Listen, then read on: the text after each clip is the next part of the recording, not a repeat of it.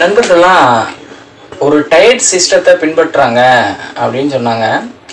அது என்ன diet system அப்படின்னா ஆதி மனிதனின் உணவு முறையை பின்பற்றுறாங்க அதனால ப்ரெஷர்ல இருந்து சுகர்ல இருந்து மீண்டு வந்து உடம்ப ஆரோக்கியமா வச்சுக்கலாம் அப்படி இப்படின்னு சொல்லி ஒரு ஆதி மனிதனின் உணவு முறை அப்படின்னு ஒரு வகையான டயட் சிஸ்டத்தை வெளியில இருந்து நம்மளை நோக்கி திணிக்கப்பட்ட டயட் சிஸ்டத்தை பின்பற்றிட்டு இருக்கிறாங்க. இந்த டயட் சிஸ்டம் என்ன அப்படின்னு கேட்டோம் அப்படின்னா முழுக்க முழுக்க இறைச்சி மட்டுமே சாப்பிட்டு வாழ்றது தான் இந்த டயட் சிஸ்டம் இறைச்சியாக சாப்பிட்டு வாழ்றது? இதுதான் ஆதி மனிதனினுடைய உணவு முறை. அதனால் நான் இப்போ தான் வந்து ரெண்டு கிரில் சிக்கன் சாப்பிட்டுட்டு வந்தேன். கிரில் சிக்கனாக சாப்பிட்டுட்டு பசியாடுறதுக்கு பேர் தான் ஆதி மனிதனின் உணவு முறை. ஆதி மனிதர்கள்லாம் வந்து இறைச்சியை மட்டுமே சாப்பிட்டாங்க. அப்படின்லாம் நிறைய நண்பர்கள் வந்து சொல்கிறாங்க ஆதி மனிதன் இறைச்சியை மட்டுமா சாப்பிட்டான் அப்படின்னா கிடையவே கிடையாது. ஆதி மனிதன் அப்படிங்கிறவன் பழங்களும் கொட்டைகளும் தான் சாப்பிட்ருப்பான் இப்போ நீங்கள் நல்லா பார்த்தீங்கன்னா பரிணாம வளர்ச்சியில் குரங்குலேருந்து மனுஷன் வந்தேன் அப்படின்னு நீங்கள் எல்லாம் சொல்லிட்டு இருப்பீங்க. அதெல்லாம் நீங்கள் கேட்டிருப்பீங்க. நண்பர்கள்லாம் சொல்லியிருப்பாங்க. இப்போ குரங்குலேருந்து ஒரு மனுஷன் மனித நிலைக்கு உருவாகக்கூடிய ஒரு உயிரினம் குரங்கு சாப்பிட்டா தான் சாப்பிடும். குரங்கு பழமும் கொட்டையும் தான் சாப்பிடுது. அதே மாதிரி மனுஷனும் பழமும் கொட்டையும் தான் சாப்பிட்ருப்பான் அதுக்கு பின்னாடி யதார்த்தமாக இடி மின்னல்ல தாக்கி உயிரிழந்த ஒரு உயிரினத்தினுடைய இறைச்சியை சாப்பிட்டு அந்த சுவை இன்பத்திற்கு அடிமையாகி தான் இறைச்சி சாப்பிட்டுப்பானே ஒழிய ஆதி மனிதன் உண்மையான ஆதி மனிதன் இறைச்சி சாப்பிட்டு இருக்க மாட்டான். ஆதி மனிதனுக்கு அடுத்த மனிதன் தான் இறைச்சி சாப்பிட்டுருப்பானே ஒழிய ஆதி மனிதன் பழங்களும் கொட்டைகளும் மட்டும்தான் சாப்பிட்டுருப்பான். ஏன்னா இயற்கையிலேயே பார்த்தீங்கன்னா மனித உடல் கூறியல் படி இறைச்சி மனிதனினுடைய உணவு கிடையாது. பழங்களும் கொட்டைகளும் மட்டும்தான் மனிதனுடைய உணவு.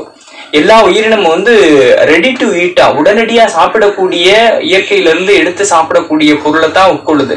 மனிதன் மட்டும்தான் சமையல் அப்படின்னு ஒன்று பண்ணி சாப்பிட்றான்.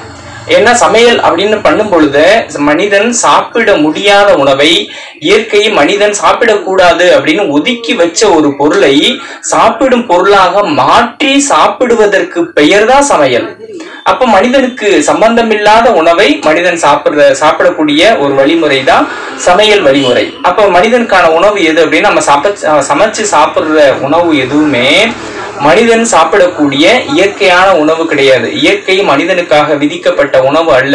இப்ப இயற்கை மனிதனுக்காக விதிக்கப்பட்ட உணவு எது அப்படின்னா மனிதன் ரெடி டு ஈட்டா உடனடியா எடுத்து சாப்பிடக்கூடிய உணவு. அந்த உணவு பழங்களும் கொட்டைகளும் மட்டும்தான். அதை செரிமானம் செய்யக்கூடிய ஆற்றலோடு தான் மனித உடல் இருக்கு. இந்த பழங்களையும் குட்டைகளையும் நீங்க சுவைப்பட சாப்பிட்டு முழு ஆரோக்கிய நிலையில் வாழ முடியும். எப்படி பழங்களை வந்து பழங்களையும் கொட்டைகளையும் எப்படி சுவைபட சாப்பிடுறது அப்படின்னா அந்த சுவை ஏற்றுவதற்கு தான் இயற்கை வந்து அந்த ஏலக்காய் படைச்சிருக்கு பட்டை படைச்சிருக்கு கிராம்பு படைச்சிருக்கு மிளகு படைச்சிருக்கு இந்த மாதிரியான பொருட்கள்லாம் இந்த பழங்கள்ல சுவை ஏற்றுவதற்கு தான். ஏன்னா மனிதன் வந்து அபரிவிதமான சுவை இன்பத்தை அனுபவிக்கும்படியான உடம்பை பெற்றவன் மனிதன். விலங்குகளை காட்டிலும் அளவுக்கு அதிகமான சுவை இன்பத்தை நம்மால் பெற முடியும். அதனால பழங்களும் கொட்டைகளை மட்டுமே சுவைபட சாப்பிட்டு ஒரு மனிதன் முழு ஆரோக்கிய நிலையில் வாழ முடியும் அப்படிங்கிறது தான் இயற்கையினுடைய யதார்த்தம்.